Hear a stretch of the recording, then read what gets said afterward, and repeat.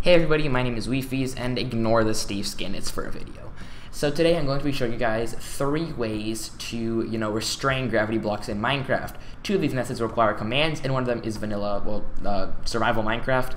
And they're all pretty good methods, and one of them is amazing. You cannot even tell how the blocks are floating. So guys, if you can see in front of me right now, there are three different uh, anti, three different sets of anti-gravity blocks, all restrained by some sort of invisible force.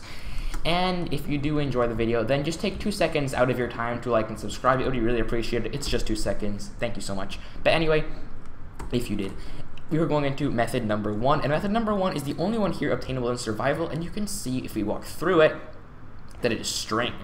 String is almost invisible when viewed from the side, and it is kind of visible when viewed from the bottom, which kind of sucks and you can even see the collision box. However, string is a very survival-friendly way to make gravity blocks float. The flower trick no longer works, and even if you cause a block update, it's not to fall or anything.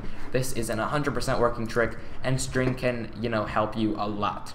The second method cannot be walked through, and it is barriers. The only pro that I can think of here for barriers is that it's invisible, like, unless you see the collision box, you're not to see it, even from below. You're to be like, wow, how is this floating? And for map makers, this is crucial because you can make like cool blocks float.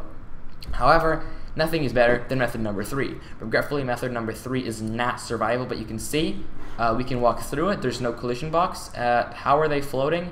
Well, you can't even place blocks underneath it. That's because there's there is something holding the blocks up. But what is it? A bit of a while ago, I made a video called 8 Secret Features of Minecraft you might have known about, and I recommend you watch it because I did highlight some really interesting features of Minecraft. However, the last feature that I showcased was the moving piston.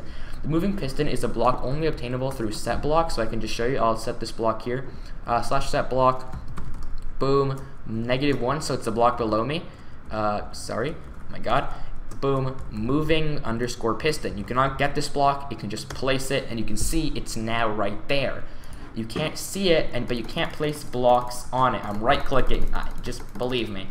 You can't place blocks on it. And so it is there. And the only way to interact with it, I believe, is TNT. So if we just grab flint and steel, just a little history lesson about the, well, I guess a little trivia about the moving piston. If we just place TNT and light it up just like that, you can see we've exploded a bunch of blocks, and this is where our moving piston was. And if we just go up, you can see that this area is now 100% filled. So the moving piston actually blew up. That is the only way to remove it without commands, but regardless, it does a great job of holding these blocks up. All I did was take this and this and do slash fill moving piston, and then you can place blocks on it to your heart's content, and they will float. This is a really nice way to do anti-gravity in Minecraft, and your friends will probably be baffled. They'll have well, no idea how you did this, because it is a really cool feature of Minecraft. Moving pistons can be utilized for so much more, and I'm still doing, I'm trying to look for a way to make force fields, because it is possible. Anyway, guys, until then, thank you all so much for watching. If you haven't already, then maybe leave a like and subscribe. It only takes two seconds, as I said previously, and it would mean a bunch. But once again, thank you all for watching, and I'll see you all in the next video. Peace.